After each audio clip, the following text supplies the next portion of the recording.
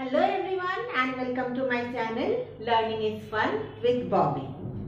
Today I am going to discuss about the beaks of the birds. Birds do not have teeth. So how do they eat? So birds use their beaks and claws to catch their food and then eat them. Now let us see how the beaks are differently shaped. Depending on what they eat, birds have different types of beaks and claws.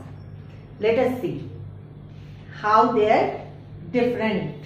Now different birds have different types of beaks depending on what they eat. Let us see. Birds like woodpecker. They eat insects.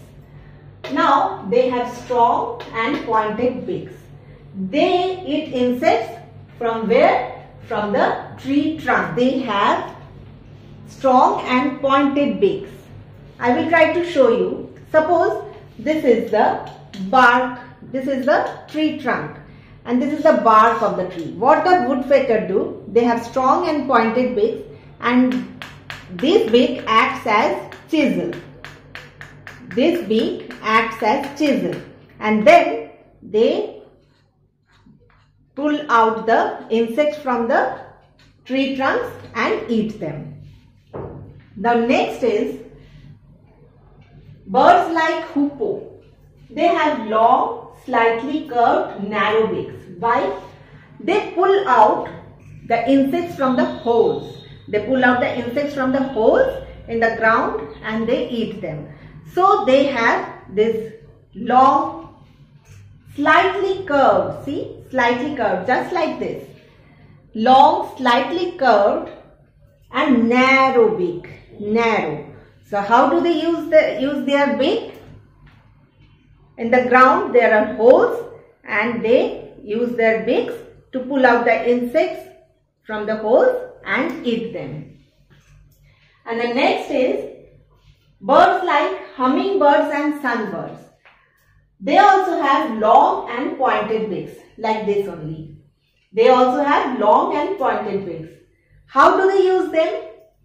They suck nectars from, they suck nectar from flowers. Suppose this is a flower and what do they do? They use their beak and suck nectar from the flowers and that is their food. Now we will know about the fourth number of beak, the, the fourth kind of beak. Birds like eagles and vultures, what do they eat? They eat the flesh of other animals. So for that reason they have strong, sharp and hook-shaped beak. Hook-shaped beaks. Uh, you can say a little bit like this. A hook-shaped beak. So what do they do? With their beaks, they tear the flesh of the other animals. The, they tear the flesh of the other animals. And the next is birds like parrot. They eat nuts type of food. Nuts. So to crack the hard nuts, they have strong and curved beaks. Strong and curved like this strong and curved beaks. They crack the nuts with the help of this strong and curved beak. Now next we will know about two short type of beaks. Birds like sparrows and pigeons. Sparrows and pigeons have short, strong and hard beaks.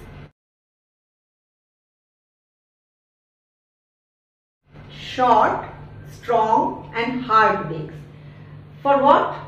Because it helps to crack their food, to crack their food. And birds like swallow, what do they have? They have short, broad and sticky inside. Little bit like this. Short, broad, short, broad, see broad, not narrow, broad and sticky inside portion is sticky like gum. It's sticky like gum. So how does these beak help? It helps them to catch flying insects. What do they do? They fly by opening their beaks like this.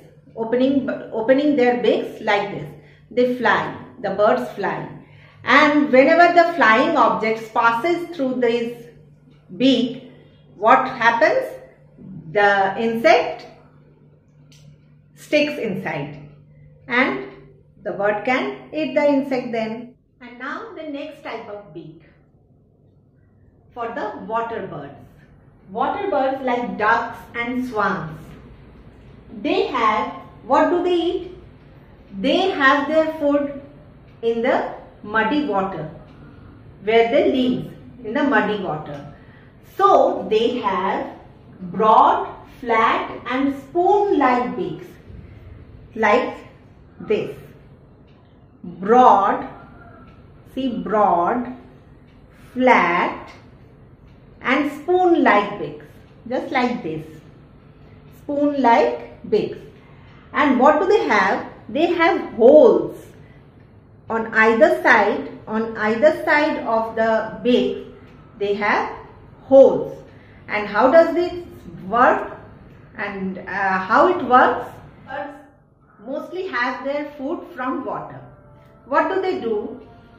They take in small insects and plants along with the muddy water. They take in small insects and plants along with the muddy water. And what happens the muddy water comes out from these holes. And what remains inside the duct? It remains the insects and the plants remain inside the duck's mouth. And so they can have the food. In my next video, I will discuss about the claws and the nests of the birds.